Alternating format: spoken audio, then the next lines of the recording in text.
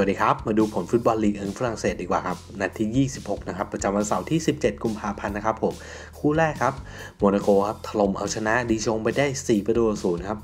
ปารีสแซงต์แชร์แมงครับ ถล่มเอาชนะสตาร์บุกไปได้เหมือนกันครับ 5 ประตูต่อ2ครับ อาเมียงครับ เสมอกับตูรูสไป 0-0 ครับ องเช่ครับ แพ้แซงเตียนไป 0-1 ครับ กองครับ เสมอกับแลนไป 2 ประตูต่อ2ครับ มงปริเย่ครับเสมอกับกองแกรมไป1ประตูหนึ่งครับแล้วก็ปิดท้ายด้วยทัวร์นะครับผมเอาชนะเม็ดไป1ประตูศูนย์ครับเดี๋ยวเราไปดูตารางคะแนนกันเลยดีกว่าครับผมมาเริ่มกันที่ครึ่งตารางบนนะครับ ตอนนี้จ่าฝูงยังคงเป็นปารีสแซงต์แชร์แมงนะครับ มีอยู่ 68 แต้มนะครับ ทิ้งห่างอันดับ 2 ไป 12 แต้มครับ ตอนนี้อันดับ 2 เป็นโมนาโกครับ มีอยู่ 56 แต้มครับ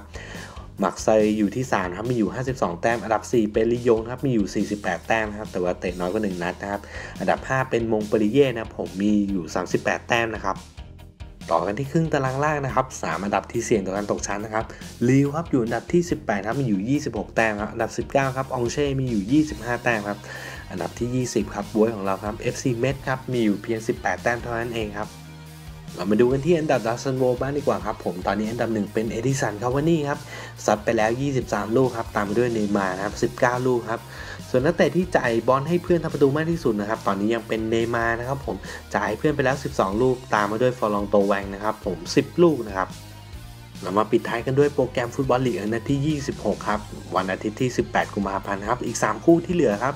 นีสครับจะเจอกับน้องนะครับลีวครับเจอกับลียงครับผมแล้วก็ปิดท้ายด้วยมักเซยครับจะเจอกับบอกโดนะครับแล้วเดี๋ยวผลทั้ง 3 คู่เป็นยังไง เดี๋ยวเรามาตามลุ้นกันนะครับผมแล้วเดี๋ยวไว้เจอกันใหม่ครับ สวัสดีครับ